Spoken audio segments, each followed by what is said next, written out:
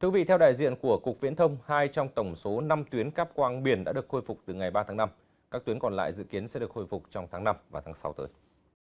Theo báo cáo của các doanh nghiệp viễn thông, từ đến ngày 3 tháng 5 đã có hai tuyến cáp quang biển là IA và SMW3 hoàn thành việc sửa chữa. Hai tuyến cáp AAE1 và AAG dự kiến sẽ hoàn thành sửa chữa trong tháng 5. Tuyến cuối cùng là APG dự kiến sẽ được khắc phục trong tháng 6. Cục Viễn thông cũng đã triển khai phương án điều tiết, giảm tải, đảm bảo lưu lượng đi quốc tế, phối hợp với các đối tác cung cấp dịch vụ, ứng dụng quốc tế để tối ưu chất lượng, ưu tiên lưu lượng theo khung giờ và dịch vụ đảm bảo chất lượng dịch vụ cung cấp cho khách hàng. Đồng thời, khẩn trương phối hợp các đối tác nước ngoài mua thêm dung lượng các tuyến cáp đất liền để mở rộng dung lượng và truyền tải lưu lượng.